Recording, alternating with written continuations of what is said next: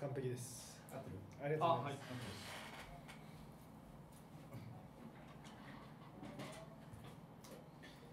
今日電話あるか？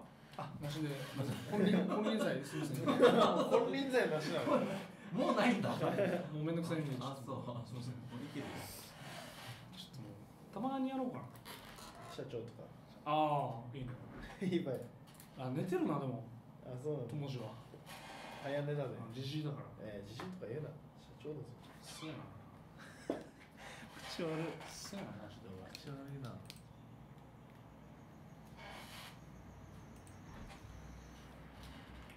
そう。えー、やめれよ。やんなやんなそんなの。中指で。薬指やし。薬指だから。よし、あ、マイクがないとね、ラジオは。あ変わりましたね。ん？あれこのこんな CM あったっけ？あ、わからん。あったあったあああ確かに。FEC チューンド。FEC チューン始めていきますよ。ド。FEC チューンだ FEC チューンド？FEC チューンド。FEC チューンド。FEC チューンド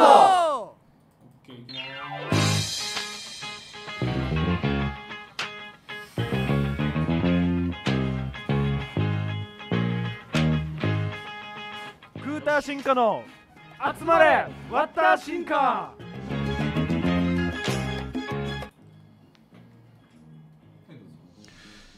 はい、始まりました。クーター進化のなんとかかんとか。集まれ私進化それな。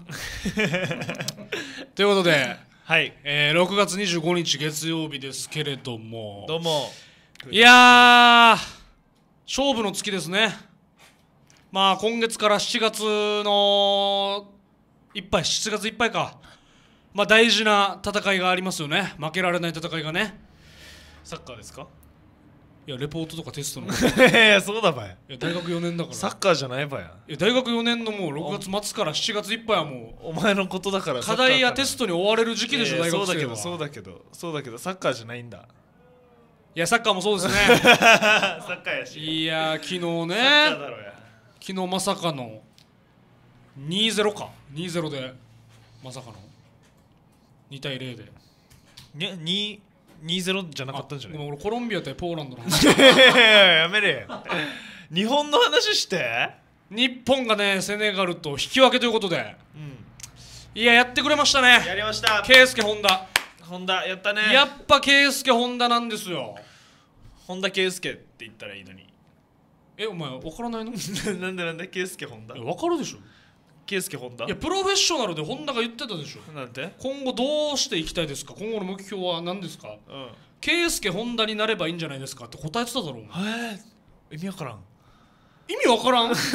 うん今のところは意味わからん。俺結構分かりやすい本田にしては結構分かりやすい話かなって思ったんだけど。外人でってこと？あだから要はだからワールドワイドでうん。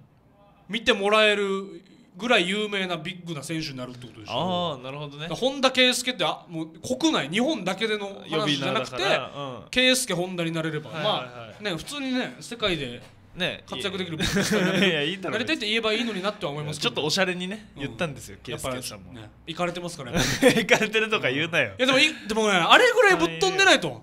そうだね。ダメだよ普通の日本人じゃさ絶対できない。うんいや本田は本当にすごい。頑張りましたね。マジで。まあ本田の話はまあ後々やるとして。うん。後々3時間ほどやるとして。えーもういいよ。疲れる。いろいろまたコメント来てますよ。皆さん どうもこんばんは。どうもどうも。えー、倖田來未ファンさん。倖田來未ファンさんははい。結構この FEC 中運動当初から僕らのツイキャスには来てくれますよね、うんちょいちょい来てくれますよね。ありがとうございます。でもあんまなんかこの場でしか会わないよね。あ確かにツイッター上とかで絡んだりもしないし。ね倖田來未ファンさんありがとうございますね。ありがとうございます。よろしければ。はい。倖田來未とは思ってないですかね？大丈夫ですかね？あ我々の俺ら のこと。あ大丈夫ですかー俺逆ですね。逆？倖田來未ファンさんが俺倖田來未なんなわけないだだろやなこんな聞かんだろこんな こんなラジオ。せやな。おいなんだと？でもかこちゃんこんばんは。喧嘩始めるか？かこちゃんこんばんは。こんばんは。ななちゃんこんばんは。どうも。しるしるみちゅさん。はい。こんばんは。どうもえー、ひかるさんどうも。こんばんは。どうも。シュプリームさんこんばんは。あやみちゃんもこんばんはということで。みんなこんばんは。まあ 6, 6月25日ですけど昨日お笑い米軍基地名護公園お笑い米軍基地14の千秋楽がございましてね。そっか昨日か。めっちゃ前のことのように感じるもん。もうなんかね長い1か月が終わりましたからね昨日で。確かに。名護公園。名護公園でしたね。楽しかったね。楽しかった。やっぱり。まあ僕らは本編とは別のところで登場したんですけど。そう。結構なんだろうな。意外だったでしょ。あれ俺言ったっけ？先週話したっけ何が？誰もが言うんですけど、ん。誰よりも俺なんかが目立ってたらしいですああそうなの？やっぱり。これいかんせん紹介されてるわ。確かに自己紹介があるからね俺らだけ。本編とは別だわっていうので印象には残るね。圧倒的印象らしいですよ。すごい。勝ちゲームですよね。たくさんの人に。もう優勝ってことでいいですよ。優勝？大会だったの？なんかの？あれは。違うでしょ？違うか。違うでしょ？いやー。大会とかじゃないから。でもなんだろうなもうネタというかこうコントというか、まあ、僕らアーティストとして出ましたから、ね。そうそうそう。歌歌う人たちっていう、うん。一アーティストとして出させて一アーもらったんで。ティストとしてではないけど勝利はもうほんただただギターしか弾いてない、うん。本当よほぼほぼ8割沈黙貫いてましたもんねほとんど喋ってない。ギターでコミュニケーション取ってましたけど、うん。マッチャさん分かってくれるから。いやそんなあ。いつわかんだよなあいつってか言うな。大先輩だぞ。いやでまあその後まあモンゴル800の替え歌でまあ僕はベースベーシストとして米軍基地だけにね。うーんまあね。ベースとね。ベースと。基地のベースをかけてそうそうそうそう。彼は今言ったんですよ。これはで皆も米軍基地のコントで言ってましたからからね。これは今滑ったのはまーちゃんさんですか？いやいや違いますよ もう完全にあなたですよ。ベースとかけてねえじゃないわ 楽しかったな。楽しかったね。モンパチのあなたにこれベース僕相当練習して。相当っていうかもうでもあれあれですよ。俺楽譜とか見ないで弾いてますからね。うん。あれは？なんで急に喧嘩売ってる俺に。いやいやいや。楽譜見て弾いてた俺に喧嘩売ってますこいつはギター演奏中譜面台に楽譜を置いて弾いてたんですよ。僕はもうそんなもう見ないでも覚えちゃんと覚えて。しかもベースソロがあるんですよあなたに。あなたにモンゴル800のあなたにやったんですけどうん。ベースソロがあるんですよ。うん。あのベースソロは俺なんならあれ自分で聞いて音探して弾いたからね、へえそうそうそう。ってことはですよ皆さん。うん僕と清作さんが大体ベースの技術がイーコールなんですよ。違うよ。完全に。そんなわけないだろ。なんならちょっと僕の方が上いや清崎さんが圧倒的に上だから。何言ってんのどうかな。いやいやいや何年やってると思ってるわ本人。いやだからもうそれを逆に言いたいよね。何が？逆に言いたいねそれを僕は。お前が逆にお前何年やってるばじゃあ？1年と2ヶ月。全然やし。いや1年と2ヶ月でお前あなたにをしっかり弾いてんだよ耳で。耳コピいーで。やいやそういうもんじゃないの？ああ出た出た出た出た。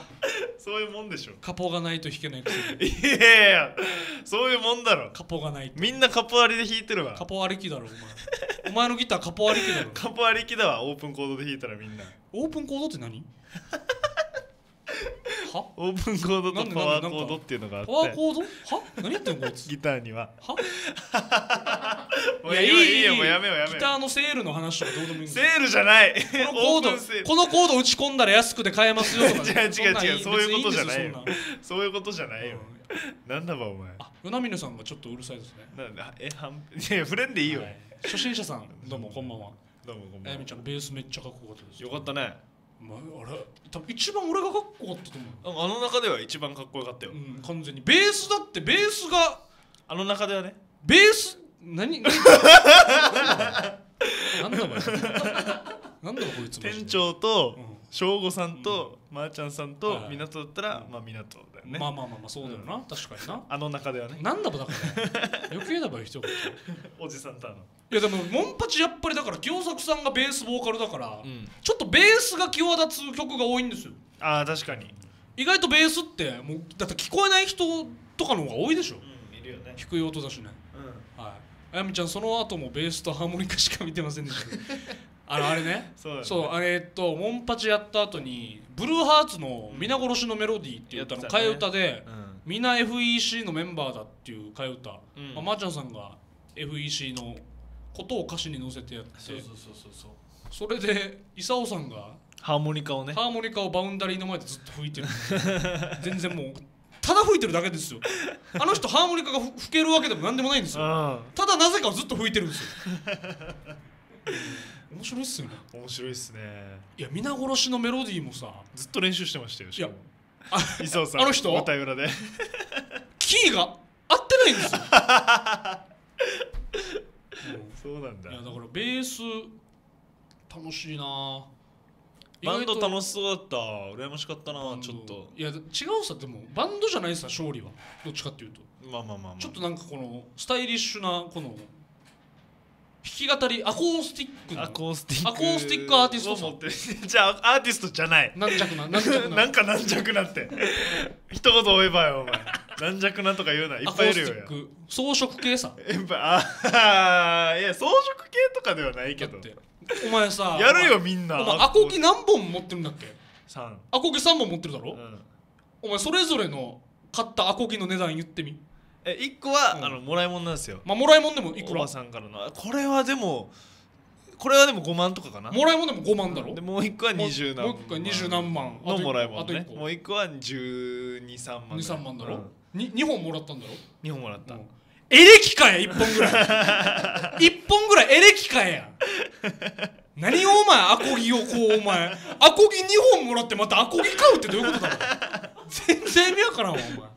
ちょっとね。なんでなんでなんなの？これ一応違うわけ。あ音色が全然違くて。ああまあまあでもな。その二十何万のやつが、うん。ちょっとジャカジャカ弾く系のああまあアコギ音にも個性があるんだね。十何万で買ったやつが結構あのしっとりした感じあのあ 買っちゃって。うん。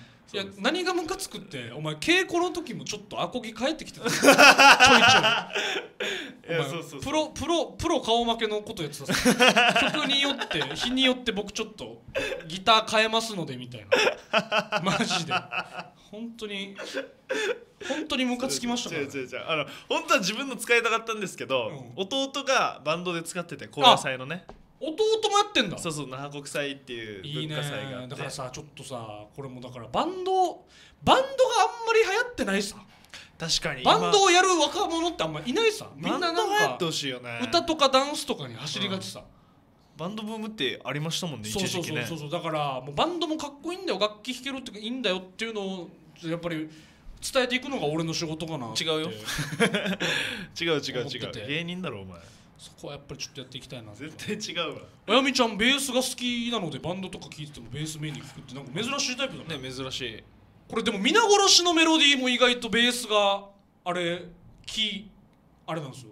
キーメロディー。へえキー楽器になってる。んですよ。原曲の皆殺しのメロディーもイントロのあのベースラインが本当にびっくりするぐらいかっこよく。これマジでちょっと聞いてみて原曲皆殺しのメロディー。聞いてみる聞いてみる。うん。本当にかっこいいからちょっと聞いてみあブルーハーツの皆殺しのメロディーにしましょうかね。あでも聞けないか結局ツイキャスは。あすいません。まあいやでもすみません。慰霊の日が終わったばっかりなんですみません皆殺しのいやいやいいよ別に。すみませんね、気にしてるの？えー通常通りのそういうの。曲で。お送りします。お送りしましょうねまあコミュニティとはいえね。こっちも近いですからね。あちょっと静かにしてもらっていいですか？えじゃあ CM を挟んで、えー最初のコーナー行きたいと思います。では CM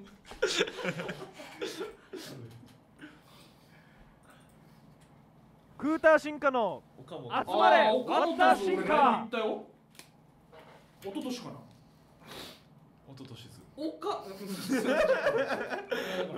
頼むから静かにしよう岡本図ももう浜岡本。半端ないな、かっこいい。うん、浜岡本ベース。浜田さんの息子さんそうそうそうそう、ねもう浜岡本はもう圧巻だったなあのベース。かっこよかった。うん。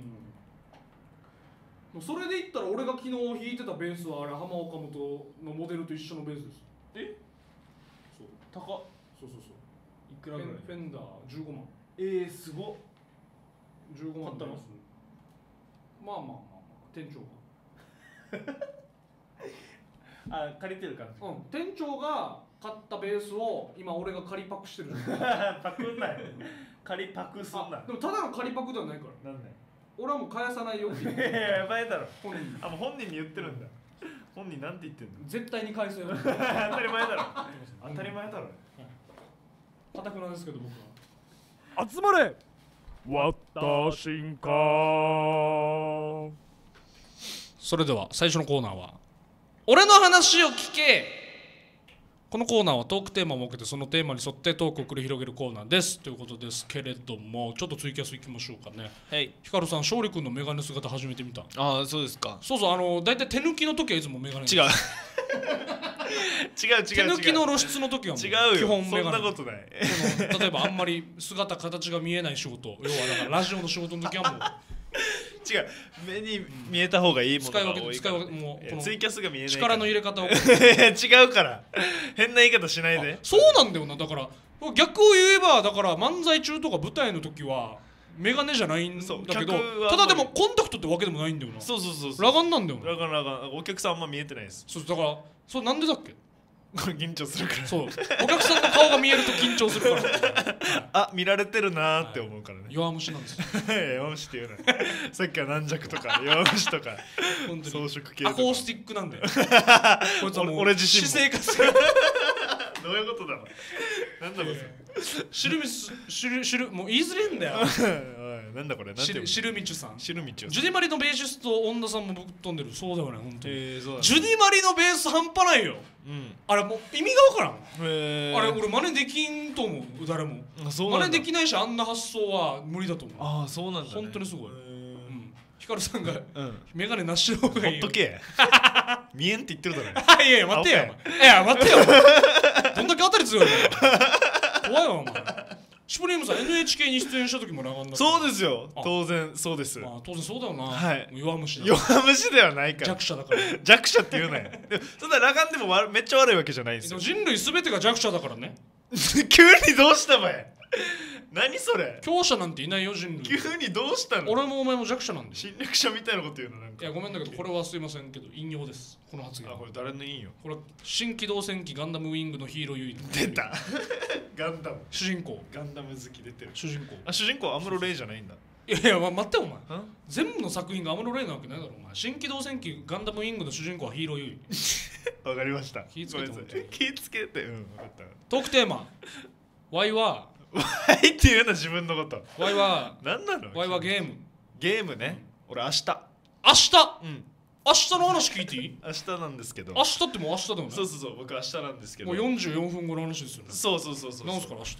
あの8時から大学に集合して山行くんですよ。朝？朝。朝8時に集合して山行くの？そう。あのしかもな何しんのく国神の。いや遠っめっちゃ遠いんですよ。今日この後平成一期の稽古だよ。そうそうそう。大丈夫だもん。山行くんすよ。やばいんじゃない？ででで何しに行くかって言ったら、うん。びっくりっすよ。何何？教授に聞いたら何？土見に行くって。ほう。え？土見に行くだけ。山に？この実験で使う土を見に行くって。取らないわけよ。あ取らないんだ？土を取るのはまた後日みたいな。何それ？土見に行ってこの土が気に入ったらあー なるほどな。一旦一旦自分もう戻ってきて次の週ぐらいにトラック借りて土ああもうがっつりもう下見みたいな感じかそう何それと思って。国神まで。国神まで。近場だったらいいっすよ。ちなみにこれどんなすんの？トラック？トラックってこれ何どんなしていくの？ああ教授と一緒にですよね。2時間ぐらいかけて。何名で？3いや待って。ちょっと待って。え？三人？人3人。えお前と誰？教授とお前と教授と誰？あと似たような研究をする男の子。う。ん3人で。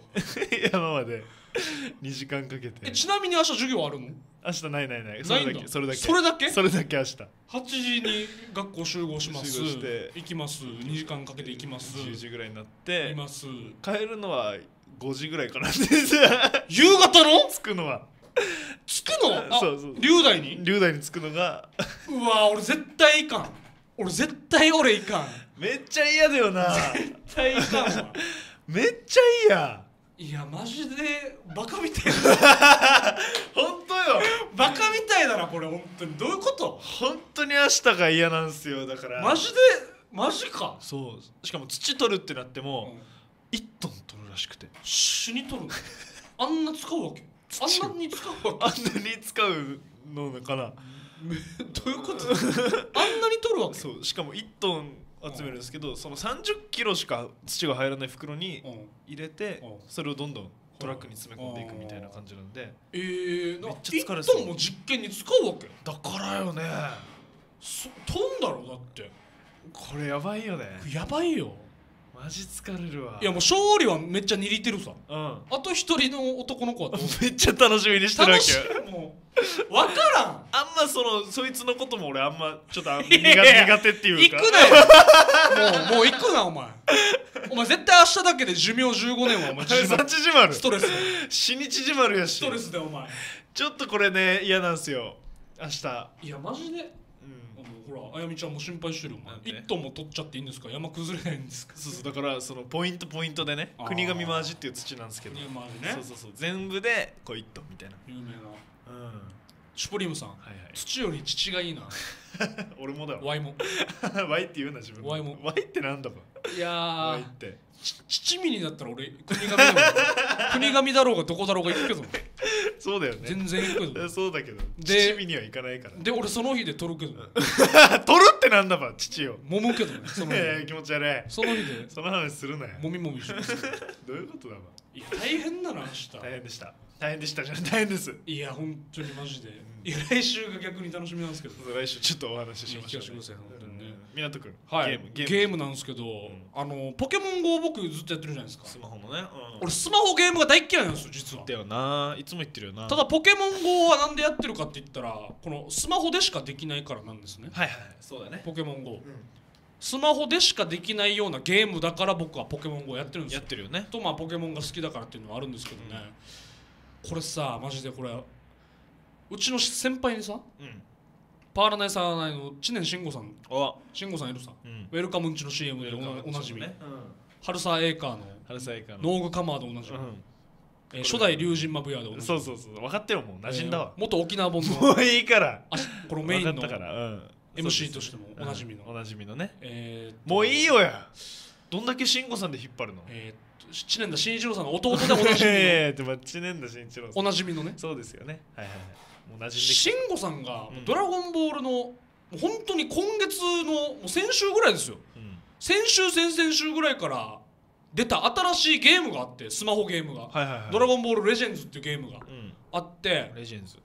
このアプリがもうかなり面白いと。へえもうめちゃくちゃ面白い。うん。スマホのクオリティとは思えない。へえでこのフレンドになったら一緒に対戦もできるらしいんですよね。遠くに離れてても、うん。いやだから俺これ一緒に誰かと戦いたいから港初めてくれんって。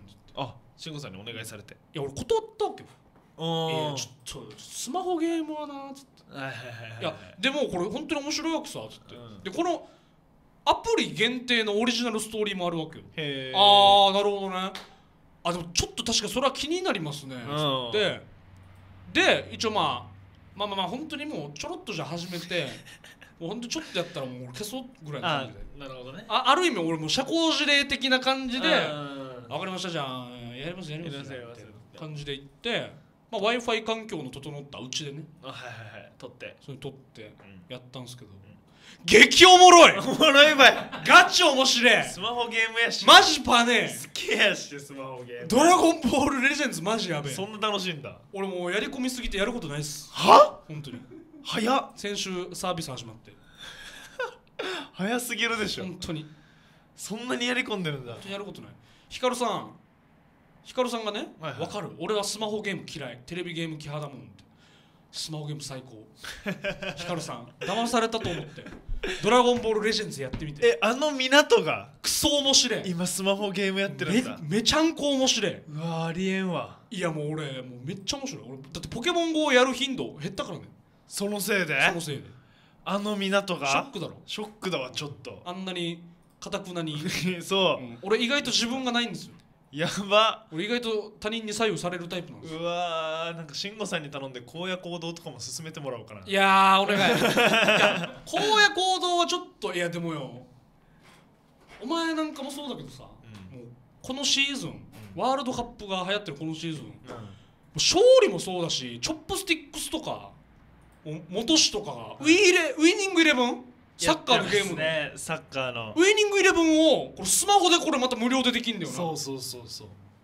やってるわけよ。俺で一回さ俺注意したわけ。うん。元氏とリークが対戦してて。あなるほどね。ウイイレ。うん待て待て待てと。はいはいはいお待てよちょちょ待てよ。えーキムタク？キムタクなの？ちょ待てよお前やさすがに俺これはないわと思って。はいはいはいはいはい。ウイニングイレブンはプレステでやれと。いやでも絶対まあでもそっちの方が楽しいんだろう絶な対そうだろっつって。いいやでもめっちゃ面白いんですよ皆さん。はいはいで試合見たらあいつらも自分のなんかオリジナルのチーム作ってやってるんですよ、でこれもなんかガチャっつって強い選手をこう引いて。そうそうそう。だから本当に世界屈指のプレイヤー作って使ってこれ。でしかもレジェンドっつって昔有名だった選手とかも一緒に今のだから要は今いる選手今本当に世界で活躍してる選手と昔活躍してただからジーコとかさそうそうそうブラジルのマラドーナとかマラドーナとかアルゼンチンのマラドーナとあともう本当にすごい名だたるミシェル・プラティニとかもうん誰誰誰？ミシェル・プラティニ、うん。いやごめんごめん。放送事故で。これ俺が悪いかもうだって無言だもん 誰だろうな。相づちがなかったもん。俺の記憶の辞書を開いてみたらいなかった。いや全然。だから生まれてない時の あぐらいに結構昔の人でなんだね組み込ん。でそれ見て面白そうと思って。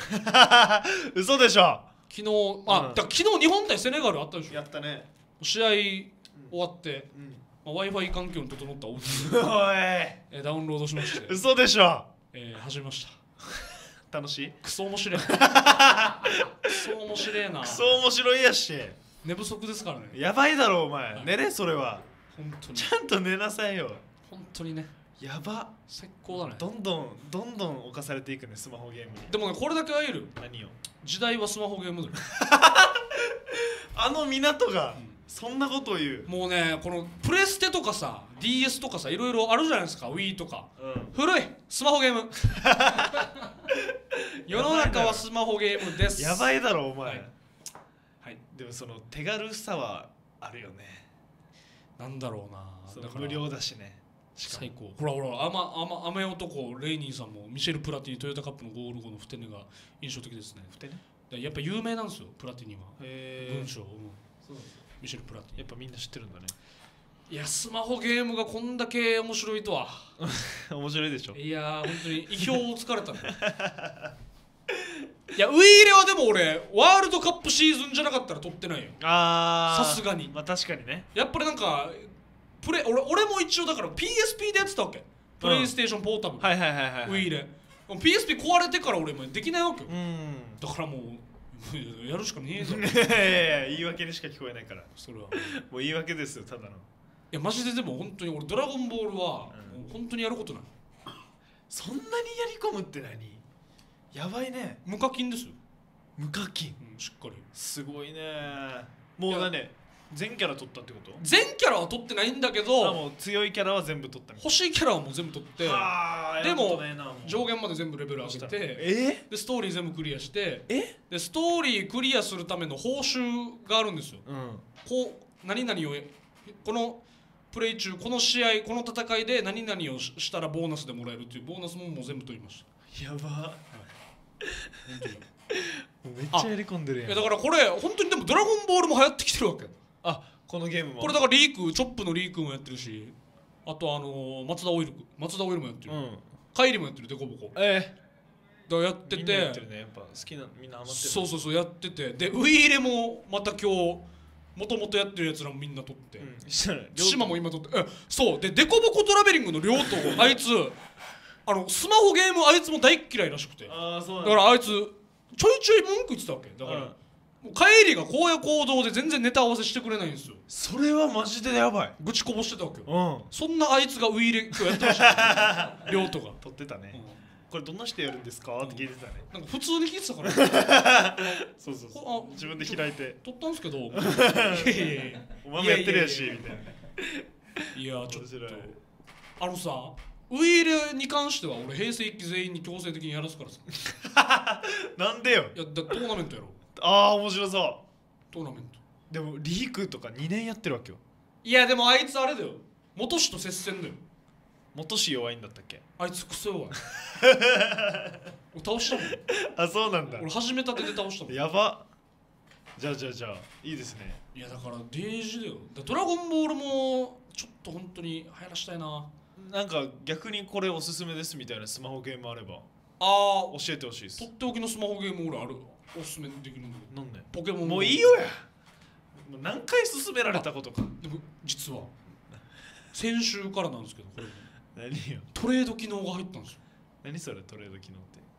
他人のポケモンと自分のポケモンを交換できるんですよ。ええすごい。そうそうそうそう。そだかられはすごい。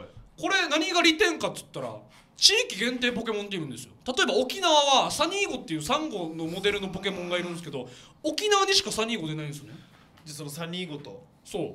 地域限定の他の地域そうそうそうそう。のものと交換して。できるわけよ。はあ。内地の方がすわざわざ沖縄に来てサニーゴを捕まえる必要がないんですよ。やば。ただこのトレただこの聞いて。あ何？このトレード機能、うん。100m 以内にいないとできない。来ないといけんやし。どっちみち来ないといけない。な何これ？指さすな。何これ？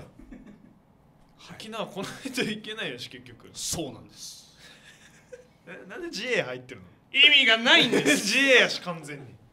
GA やるなや。やばいだろ。はい。何の意味があるば？ここで一曲。お じゃあじゃあじゃあもやもやするわ。送りしたいと思います。もやっとする。まあこのシーズンですからね、えーっとね毎年 NHK がサッカーのテーマソングアーティストの曲使うじゃないですか、うん。で今年がなんとサチモス。うわ今流行ってるサチモス、もう今ワールドカップシーズンで NHK の、まあ、毎日やってるデイリーハイライトとかね、まあ、試合もそうですけどはいはいはい。サッカーワールドカップの特集の時はもう必ず流れるうんサチモスの曲ではなく数年前に違うんだ。テーマソングだった椎名林檎の「日本」をお送りしたいと思います。どうぞ。はい。スプリングさん他人の嫁と交換できる機能があればとファンモン加藤が言っていますこれまたちょっとももはや古いですよねめっちゃ古いい話題じゃん。サチモス俺あんま好きじゃないんだよな実は、えそうなの？なんでか聞いて。なんで？かっこいいから。人やん。かっこいい人嫌い俺福山雅治と星野源もあんまり好きじゃないんだよ。なんでよ？かっこいいかっこいいからや嫉妬しんだら全部。ー光太君平成期行きますって。はい。待ってます。ね小田君はかっこよくないのでやめとけー 確かにそうだけど。そうだけどとか言うなよ。確かにそうだけど。そうだけどとか一言う里どころか百里ある。100里もあるか。光太君待ってるよ。待ってます。平成一期はですね。ユニットコントやるんですよ。こうなんだろう。6人6人で。そう。勝利チームと僕チームで。お別れして。分かれてもう勝利とはやってられないんで いやいやそういうことだったら。そういうことそれ以外の。ショックだわ。それ以外の。人と 離婚ですよ離婚離婚っていうのこれ。こうこうたくん最近クーター進化私をいじってくるいい傾向気持ち悪い。ええ。その発言が彼を気持ちよくしてる。逆に。そういうことか。いやー本当にね。平成期遊びに来てよみんな。みんな来てください。あさって那覇商業高校の向かいのアウトプットっていうライブハウスでうん。待ってるんであゆみちゃん米軍基地もギリギリで来ちゃったんですけど平成期もギリギリかもしれません。えっとですねダメです。いいだろ。来てくれるんだから。間に合間に合うよ全然いいよ全然いい全然大丈夫頑張ってあやみちゃんってさ、ん。チューブの子？チューブチューブね。わざわざ。帰りの後輩です帰りの子ってチューブでしょ？やっぱチューブか。え帰りが女村で亮とうるま市だけどあとは元市が読谷。うん。あやみちゃんもそこら辺ってことでしょ？そっからわざわざ那覇まで来てるってことでしょ？嬉しいね。いやなんかもう申し訳ないな。申し訳ないね。まあかだからといって別にチューブでやるわけ やるわけじゃないけど。全くないですけど。そうでし那覇から出る 気は一切ない。ょひどいな。な沖縄市？あ学校が那覇なんだ。るほどね。なるほど。専門学校かな。う沖縄市沖縄市だったらまだ近いか。んね。ちょっとまあ下からでも全然那覇ならね来れるぐらいの距離だよね。沖縄市だとね。だじゃあ平日の夜だと来やすいんじゃない？逆にね学校帰りとかね。学校帰り那覇だから。そのまま行っちゃえばいいってことだよね。いいんじゃない？でも沖縄市から毎日那覇まで通うってこれ大変だな。これはちょっと大変かも専門学校国際通りから歩いて10分ぐらい。あ劉備？劉備とか？だっけあるよねあっちらへんねそこらあ日系？違うか。日系じゃない日系でもないか。日系だったら FEC の FEC の真事横務所の下だから隣だから。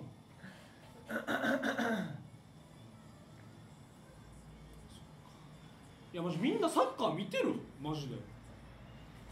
みんな。どうなんでしょうかね。意外と周り少ないからさサッカー見てる人と詳しい人あなた含め すいません。もう全然なんですよ。ゴルフしか見てないでしょ。ゴルフも見ないです。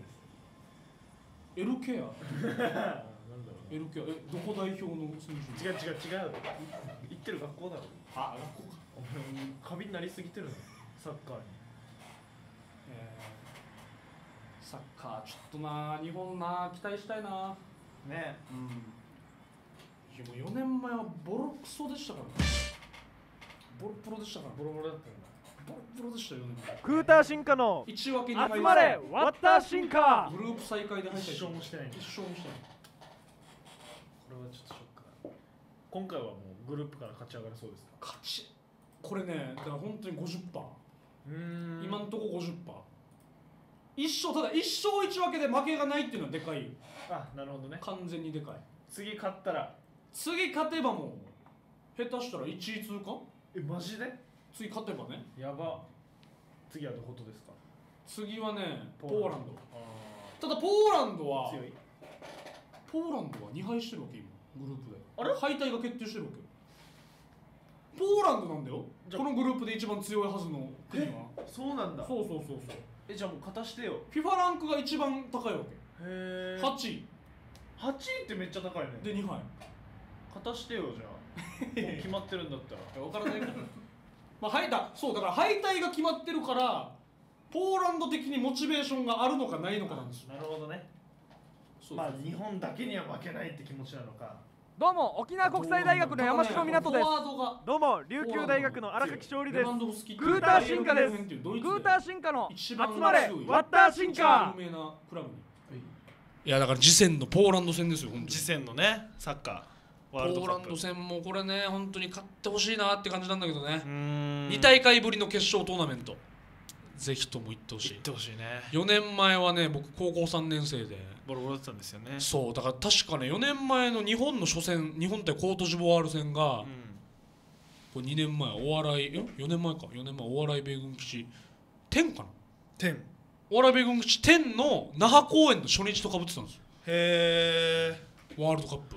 で思いっきりお笑い米軍基地の公演と初戦コートジボワール戦がこれねかぶ重なってたんですよ。でリハーサル終わりがリハーサル終わりでホンダが点決めてたんですね。おお1点リードしてたんですよ、うん。でマーチャンさんとハイタッチしたんですよ。へえこのままもうじゃあもう楽し結果楽しみだなっつって、ん。本番終わりました。逆転負けです 負けちゃったか。逆転負け。ショックだったね。ショックだったね。で2戦目が確かギリシャ。うん。思いっきり学校の日。あら。確か授業中。授業中先生がいない時にちょちょいちょいテレビつけて見てたんですけど でも0対0引き分け。それでも勝てばまあギリいけるかなぐらいのコロンビア戦ね。コロンビアですよコロンビア。この前勝ったコロンビア。うん。4対1で惨敗なんですよ。あらららら。うんあのハメス・ロドリゲスっていうね。あ知ってますよ。4年前に才能が開花したわけ。へえハメスロ4年前得点王。あそうなんだ。ハメス・ロドリゲス。まあちょっとあの卑猥ですけど名前が。いや全然だろ。ね。考え方だろ。ちょっとあの性行為をちょっとね申し訳ないですけど連想させるような名前。しないしないしない。卑猥な卑猥でイケメンなめっちゃ失礼だよ。ロドリゲスに失礼。いやただねこの今回のまた同じグループで、うん。だからコロンビアと同じグループだから。うわうわうわそれもあって前評判がすごい悪かったのよ。なるほどね。で急に監督交代もあったし。うん。いろいろあったからね。だけどねありがたいことにコロンビア戦初戦ハメス・ロドリゲスが負傷でスタメンから落ちて。あで控えから一応まあね逆転されたからまあ出てきて。出てきたけども全然もう動きもダメで。やっぱり負傷してるからね。そうそうそうそうそう。はあ。そうなんだよな。ポーランド戦引き分け以上で決勝トーナメント進出。いやもうここはもう信じたい。この前評判がね悪い時ほど日本はね力出すんですよ。らしいですね。4年前だから8年前の話に遡るんですけど。ひどかったんでしたね8年前がもうだ岡田ジャパンの時は、うん。もうその前の強化試合があまりにもダメで、えー、そうそう。だってオウンゴールで相手に負けてるんですよ。あららこれダメですね。ダメじゃないですか？俺でもやらないです。いや分からないん お前お前基準で話さないで 世界基準の話オウンゴールは俺でもやらないですから、ね、いや本当に本当に、それでもう全くあれだったけど、まあ、カメルーン戦か。初戦カメルーン戦で本田がまた決めてさ1点。ホンダはなんかキーマンだねちょっと日本のほ俺さだから本田が意外とたた批判されてる意味が分からんわけよ。うん。さすが日本と思うんだけど批判するところも。ねし批判したがりだから、批判したらもう死ねって思うんだけど、えー、言い過ぎだろだあれだよだって本田決めただろ、うん。3大会連続でワールドカップで得点決めたのは日本人初だよ。あそうなんだ。本田快挙でホンダすごいやし。しかもこんまずもって今大会初戦コロンビア戦1点香川が PK 取った後フリーキック決められて1対1のドローあ引き分け1対1で同点だったのを、後半に本田出して本田が出した3分後に本田が蹴ったコーナーキックで大迫が決めてるからね。あアシストしてんだよ本田が。ワンアシスト。で今回昨日のセネガル戦は、うん。途中で本田が出て6分後に同点ゴール決めてんだよ。すごいよねなんもうねこうなるともう何かをしてくれるんじゃないかってもう期待がね。せざるを得ない。はいはいはいはい。いやーなんかあの意志の強さというそうそうそう。かでもありますよねホンダだからは8年前あまりにも前評判悪い中ホンダが爆発してグループ決めて、まあ、パラグアイ戦は PK 戦で負けちゃいましたけど、その後の4年後がほぼ8年前のこの南アフリカ大会とあんまりメンツが変わらないメンバーだったんですね、はいはいはい。だから4年間ほぼ同じメンバーで逆にやってたから4年前絶対いけんじゃないか今回は。前よりもベスト16よりもいいんじゃないかと思ったら1分け2敗でまさかのグループリーグ最下位で敗退ですから。なるほどね。そうそうそう。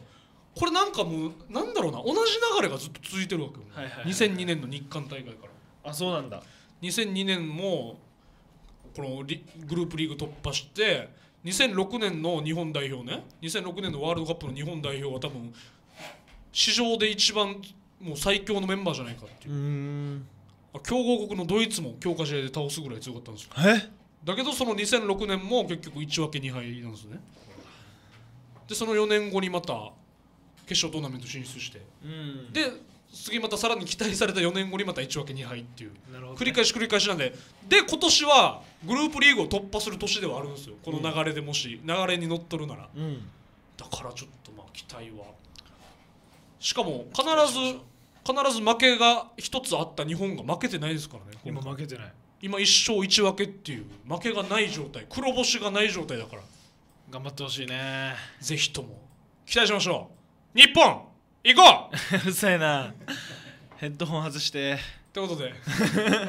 うるさいな。最後のコーナー行きましょう。あ最後のコーナー行きましょう。最後のコーナーはこれでお前も好きになるはいこのコーナーはコンビの片方がもう片方に対して自分が好きなものを熱くプレゼンし、無理やり好きになってもらうコーナーです、はいまあね一応ワールドカップシーズンだからさ。そうずっとワールドカップの話してるからね。ずっとワールドカップの話してるからね。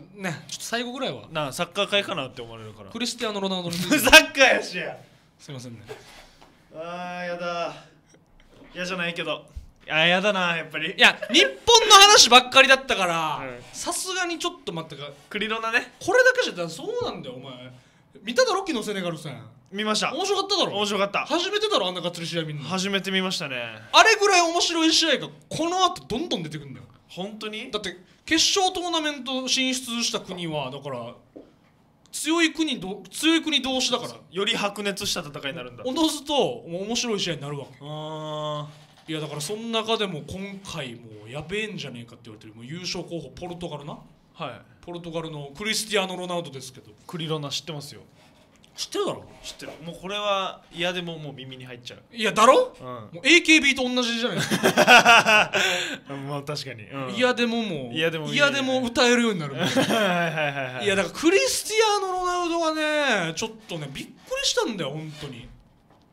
今回。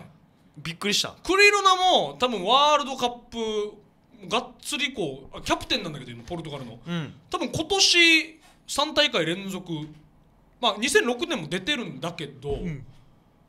なんて言えばいいかな。ここ数回のワールドカップで一番クリロナ調子いいわけ。へえ今回が？大体この選手のピーク年齢のピークって大体20代なんです。あまあまあでもそれぐらいですよね絶対。で8で今クリロナが356ぐらいかな。結構なりますね。でまあ8年前ぐらいからまあ首相としてポルトガル代表としてワールドカップ出てんだけど、8年前はあのクリロナがですよ。世界でナンバーワンのプレイヤーのクリロナはい1点しか決めれなかったんですよ。えー、そうなんだ。大会中。へえでチームもベスト16で敗退。敗退しちゃって。なんでかって言ったらクリロナがすごすぎてクリロナへのマークが強すぎたから。はあ。そうそうそう。もうそういうことなんだ。でベスト16の試合はスペインと戦ってスペインに負けたんですね、ん。でもスペインが優勝したんですよそのまま。はいはいはいはいはいで4年前に関してはグループリーグ敗退してるんですよポルトガル。これも？点は決めたけど。点は決めたんだけどロナウドがまあキャプテンで出てんだけど、うん。グループリーグで敗退。これもロナウドにマークがつきすぎた、まあもうそりゃそうなんですね。いやこれさいやしょうがないよそそれぐらい注目されてるってことだよね。意外と、松井だけ敬遠されたみたいな感覚あもうもう本当に本当にそれ、本当にそれでだから世界ナンバーワンプレイヤーがいるまして代表国になるともう。ほぼほぼ無理。だから今回もメッシうん。スーパースターメッシ率いるアルゼンチンも、今グループで1分け1敗だよ。1勝もしてないんだよ。そうなんだやっぱその強豪国であればあるほどこう攻略されやすいというか。難しくなるるほどね。だって研究されまくってるから。あそんなロナウドがよ。ーはいはいはい。今回グループリーグ強豪国またスペインもいるんだけど、うん。同じグループに。スペインうん。初戦スペイン対ポルトガルで、はいはいまあ、結果最初に言うとスコアレあの3対3で引き分けだったんですけど、うん。ハットトリックなんですよやばスペイン相手に。すごい。これすごいわけめっちゃすごい。でスペインってめっちゃ強いでしょ。スペインめっちゃ強い。でこれで今スペインはあスペインじゃないポルトガル今1勝1分けの状態なんだけど、まあスペインと引き分けて。で2戦目のモロッコ戦もクリロナのヘディングで1点決めてこれ勝ってるんですね。へここに来てもう3 5 6ですよ今。えそうだよねなんか余計なんかもう強くなっていってどんどん。どういうことよって感じなんだよ本当に。本来ならもう佳境にそうそうそうそうそうスーパーもクリロナ本当にすごいなって感じなんだけど。これねこれクリロナについてだから紹介今日はね、うん。したいんですけど。はいはいまあポルトガルでサッカーのキャリアを始めて。まあもともとポルトガルのスポルティングっていうクラブからデビューして、でその後すあのイングランド。イギリスのプレミアリーグ。のマンチェスターユナイテッド。で現在はスペインのレアル・マドリードっていうクラブでやってるんですけど全てのクラブでリーグ戦とそのリーグのこのカップ戦を優勝してるんですね。クリロナは。へえ。クラブで。クラブで。だまあリーグ戦があるじゃないですか。そのクラブの、うんうん国々のリーグのね、はいはいはい。優勝してすごい。その国のカップ戦要は。カップ戦っていうのはなんだろうな、この例えばサッカー日本でいうと J1J2J3 ってあるだろ？はいはいはい。カップ戦はあリーグ戦は J1 だけ J2 だけって単単単体だけなんだけどリーカップ戦は全体的にもう全部。そうそう。はいはいで全てでも優勝してるわけへえでレアル・マドリードはチャンピオンズリーグっていうヨーロッパで一番強いクラブを決める大会があるんですけど、うん。チャンピオンズリーグも 2, 対2連覇してるんですよレアルやっぱ強いね。あもう名前知ってるもんレアル・マドリードあ分かるでしょ、レアルのもうトップ選手。はあ。でレアルで30 30半ばでゴリゴリスタメンなのも多分史上初クリロナ。へえ。でレアルはレアルは必ず各国の要はスターをこれ入れるんだけど、必ず1回獲得するんだけどほとんどの選手が怪我とかして結局やめていくんですね。へえ。クリロナはここ数年で多分生き残り一番の生き残り。すごいすごいすごい。まあポルトガルで名声上げて、えープレミアリーグのナンバーワンクラブのマンマンチェスターユナイテッドで大活躍して、バロンドールっていう世界最優秀の年間の世界最優秀の選手に贈られるバロンドールっていう賞も5回取ってるんです。これ最多です。メッシと並ぶ最多、はいはいはい。でマンチェスター・ユナイテッドの時にこのバロンドール取っててで2009年からレアル・マドリードに移籍するんですけどその時に一緒に移籍した選手がブラジル元ブラジル代表のカカなんですよ。ああ知ってますよ。カカは2007年のバロンドール受賞なんですね。へえカカは故障してレアル辞めてったんですよ。あら。クリロナ生き残り。すごい。それ以外にもオランダのこの有名な選手ロッベンとか。あ知ってます。スナイデルっているんですけど。うん一回レアル来てみんな故障して辞めてってるんです。よ、へえ。うん。呪 呪いみたいだねなんか。いや本当に本当にそうだけど重圧がすごいわけよ。でもそれにも負けず。負けずに。はあ。そう。で、まあ、ロナウド本当にポルトガル自体がね、うん。ポルトガルの国自体がここ最近どんどん調子よくなっていってるんですよ、へえ。そうこのユーロっていう大会もあるんですよ、うん。ヨーロッパの国だけの要はワールドカップみたいな、はいはい。日本もあるじゃないですかアジアカップって。あるね。ヨーロッパ版のワールドカップみたいなのあってこれも4年に1回なんですけど、ユーロ2016この前のこのここ最近直近のユーロの大会はポルトガルが初優勝したんですよね、おやっとこの国を背負って優勝したのが初めてなんですあなるほどね。クリロナが取ってないのはワールドカップだけなんですよ待ですね。これでここ数年で一番来てますから。うん。でこんだけ活躍してクリロナ。うん。金がすごいも金すごい持ってます。まあまあそれそうだろうなこんだけ。年年俸多分サッカー選手で一番稼いでる。いやすごいわ。車信じられない台数持ってるからさ。なんだいちょっとわからない。いわからんばやえ何それ？やただでも言うけどうロナウド息子がいるんだけど息子とやる遊びがあるらしいんです。ん何たくさんある車のところに子供連れてって今日はどの車がないでしょうっていう遊びをする やば。これやばいよ。羊とかでやる遊びだよ。わからんけど。うーんと うーんとわからんけどね。うん。ベンツ？よく見てみろよとか言うわけよ。何何何それ？そんな遊びしてんだよ。バカなるぜ息子。